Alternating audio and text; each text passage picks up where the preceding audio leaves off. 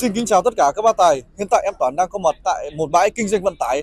Nơi đây có rất nhiều các mẫu xe các bác tài nhé. À, ờ, đặc biệt là mẫu xe Isuzu QKZ. Thì hôm nay em toàn có một bác tài, à, em nhờ một bác tài là trải nghiệm thử dòng sản phẩm bên em để xem là bác tài có cảm nhận gì sau khi là bác ấy đã à, sở hữu chiếc ờ, Isuzu QKZ này rồi.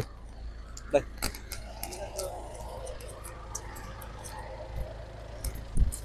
Anh em chào anh ạ. Đây em xin xem này.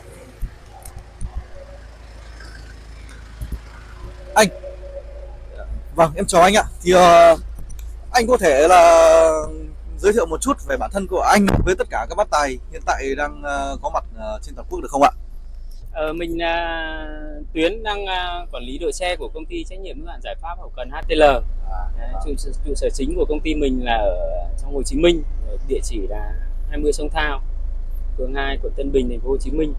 Thế còn à, bãi xe ở ngoài Hà Nội, à, chi nhánh Hà Nội thì là à, ở 24 Lý Sơn, phường Thượng Thanh, quận Long Biên, thành phố Hà Nội.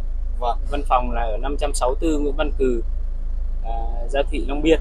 vâng em cảm ơn anh thì bên anh bây giờ em thấy là ờ, camera quay ờ, giúp anh xem là có rất nhiều các cái mẫu xe đặc biệt là xe của Isuzu đúng không ạ Ừ. rồi Terra các thứ cũng có thì hôm nay bên em đang có dòng sản phẩm là Captain E tải trọng là 2 tấn 3 và 3 tấn ờ, 45 thì ờ, nhờ anh anh có kinh nghiệm rất là lâu năm trong lĩnh vực xe rồi thì anh đi giúp em một vòng xem là ờ, cảm nhận về anh của anh về chiếc xe này như thế nào cảm nhận cơ bản thôi thì ờ, đây em xin phép là anh Tuyến có thể đi một đoạn được không ạ vâng đấy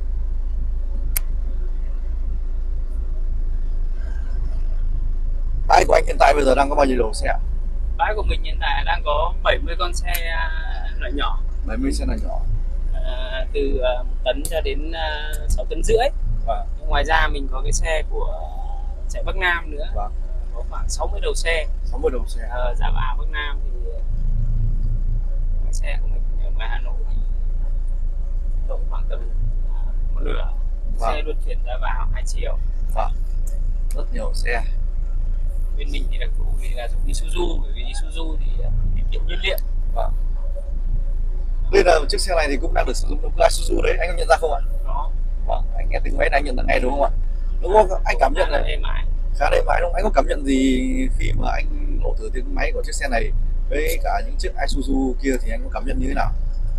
Nghe tiếng máy thì cũng chắc cũng như dòng của Isuzu thì sản xuất thì khá là ổn. Vâng. Cơ bản nó phải để lâu dài các bác tài tự cảm nhận đúng không ạ? Mỗi người một cái ờ, quan điểm khác nhau chạy thì phải có thời gian bởi vì là bên mình cũng sử dụng cái dòng xe là cũng sử dụng máy Isuzu như uh, Teraco hay là VinFast chẳng hạn. Vâng. nhưng mà chạy một thời gian thì cái chất lượng khác. Vâng. máy thì cũng vẫn là khá ổn nhưng mà về cái tổng thành của xe đúng không ạ? Cái các tổng thể của xe Vâng. các cái chi tiết khác thì uh, nó chưa được như ý đúng không ạ? như như, như Isuzu chuẩn.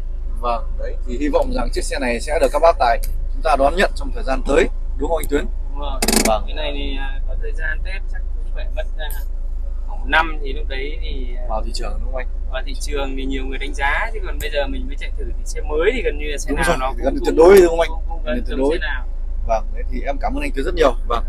Ờ, những chia sẻ rất là quý giá của anh Tuyến quản lý đội xe HTL rất là nổi tiếng rồi toàn quốc rồi. Thì các bác tài chúng ta có nhu cầu cần tìm hiểu về dòng Captain này thì xin phép liên hệ trực tiếp số điện thoại của em nhé